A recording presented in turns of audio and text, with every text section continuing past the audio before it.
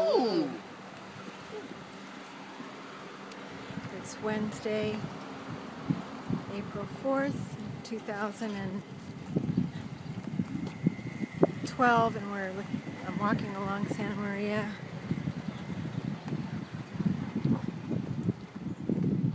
And here we see a children's van driving on the wrong side of the street.